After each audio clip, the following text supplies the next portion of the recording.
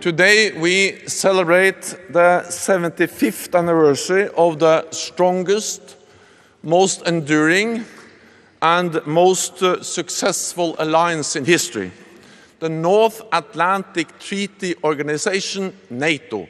Congratulations. Ministers, uh, Excellencies, uh, we had the might of the NATO alliance behind us. NATO has been on the front line in the fight against terrorism ever since. Europe needs America for its security. Fair burden sharing is essential. At the same time, North America also needs Europe. European allies provide world-class militaries, vast intelligence networks, and unique diplomatic leverage, multiplying America's might. To NATO, the United States has more friends and more allies than any other major power.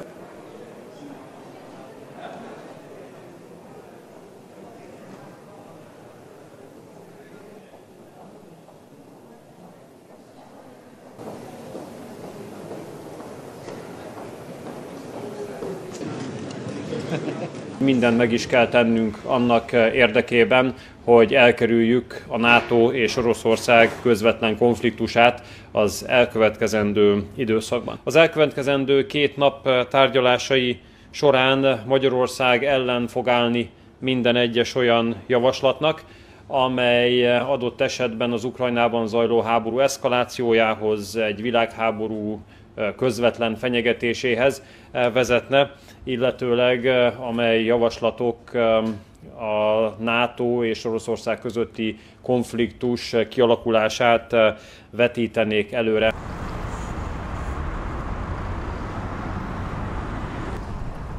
Ну, фактически эти отношения сейчас э, скатились на уровень прямой конфронтации. Действительно, страна э, НАТО, альянс сам по себе уже ну, собственно, не то, что повышает постоянно, а уже является вовлеченным в конфликт вокруг Украины. Э, НАТО продолжает свое движение в сторону наших границ, э, расширение своей военной инфраструктуры в сторону наших границ.